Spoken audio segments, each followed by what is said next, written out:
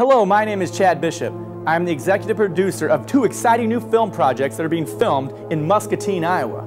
We have a short film entitled The Man in Purple, written and directed by David Lane, and a documentary based on the story of Norman Baker that is called The Crusade for Humanity. Now, who was Norman Baker? Well, he has a story that you couldn't make up if you tried. He was an inventor, a vaudeville showman, a hypnotist, an entrepreneur. He started his own radio station and challenged censorship and freedom of speech, kind of a modern day shock jock.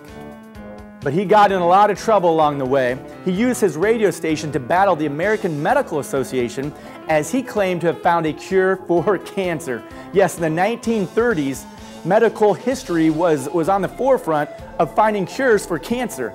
And Norman Baker decided that he found a cure that didn't involve surgery, radium, or x-rays like the American Medical Association was using, or as he called them, the American Meat Cutters Association. Now, he made millions upon millions of dollars helping and allegedly curing these cancers. But as you may know, he did not actually have a cure and was proven to be a hoax. In some ways, this man could be considered a serial killer of sorts, a villain for sure. And we've got his fascinating story.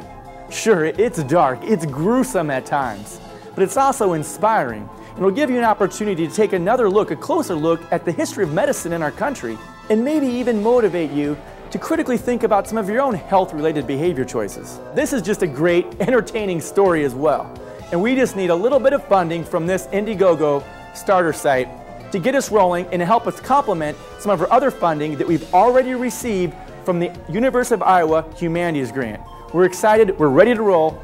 Give us anything you can to get us going, and we promise you won't be disappointed with the end results.